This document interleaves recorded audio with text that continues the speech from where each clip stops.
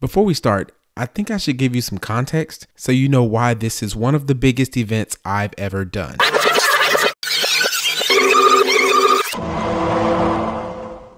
Here we are about to put another gig in the books. Uh, good news is I just had a baby boy yesterday, strong, six pounds, 13 ounces. Bad news.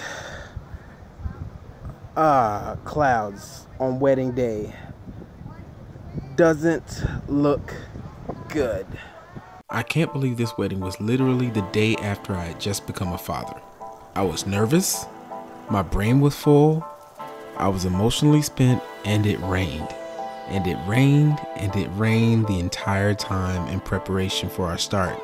But I had the best circumstances any DJ could ask for. Alexis the bride was so understanding of my situation.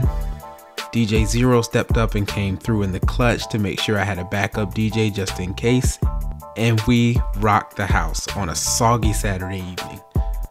It was a good energy all that night through the rain, and all those details make this a wedding that I will truly never, ever forget.